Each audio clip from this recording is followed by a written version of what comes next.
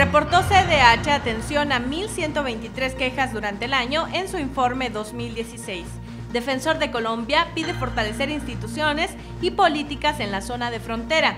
Denuncia Defensoría de Perú mal estado de guardería dentro de cárcel. Acompáñeme a conocer la información completa aquí en DH Web Noticias.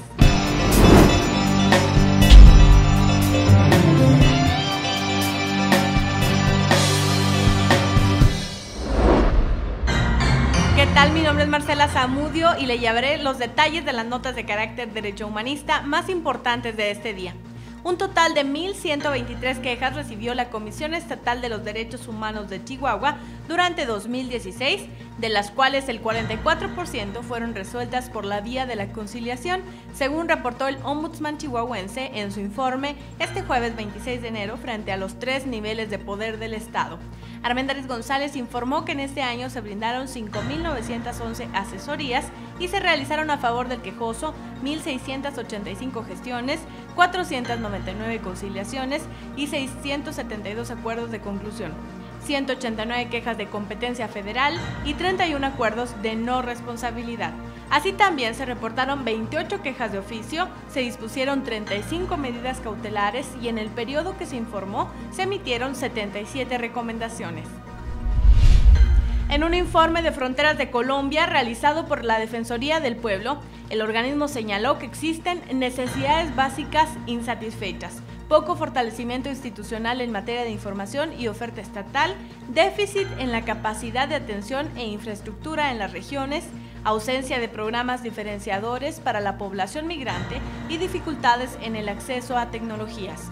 El estudio realizado a lo largo de los 6.000 kilómetros de fronteras terrestres hace un llamado al Estado para fortalecer y engranar un trabajo conjunto para proteger los derechos de las personas ubicadas en estas zonas. Entre la población analizada se encuentran víctimas del desplazamiento interno, colombianos expulsados de otros países, colombianos que retornan voluntariamente, población involucrada en trata o tráfico de personas, extranjeros con necesidad de protección internacional, personas con nacionalidad por determinar y colombianos en movilidad por desastres o degradación ambiental.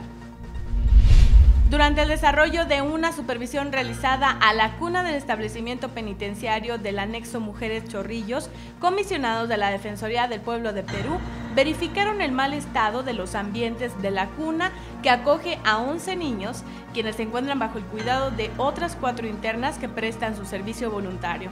En dicho centro de reclusión habitan en total 14 niños menores de edad. A través de un oficio, la Defensoría recomendó la inmediata adopción de medidas para la construcción de una cuna que garantice el respeto de los derechos de los niños que acompañan a sus madres durante su internamiento en el penal. Asimismo, ha solicitado la inmediata contratación de médicos pediatras y ginecólogos, así como profesoras para la cuna. Concluimos por esta emisión y le esperamos cada día a través de este espacio informativo para acercarles las noticias sobre derechos humanos. Mi nombre es Marcela Zamudio, hasta pronto.